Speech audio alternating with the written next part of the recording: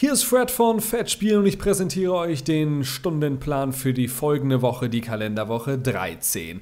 Zwei Sachen. Erstens, ich präsentiere euch diesen Stundenplan schon am Sonntag, damit ihr jetzt schon wisst, was nächste Woche auf euch zukommt. Und zweitens, wie ihr seht, kommt nächste Woche einiges auf euch zu. Ich habe weder Kosten noch Mühe gescheut, diesen Stundenplan so voll geproppelt, gepackt zu machen, wie es nur geht.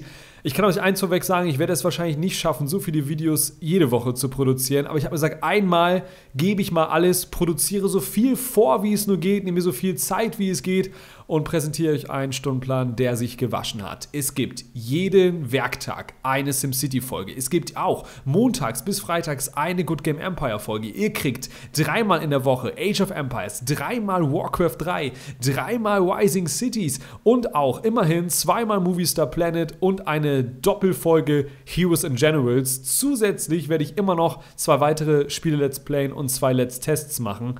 Ja, also mehr geht nicht. Das ist absolut die vollgepackteste Woche, die es gibt. Und äh, ja, ich wünsche euch viel Spaß. Nächste Woche gibt es ordentlich was auf die Augen, ordentlich was zu gucken. Und ich hoffe, ihr habt sehr, sehr viel Spaß mit diesen vielen Videos. Euer Fred von Fettspielen.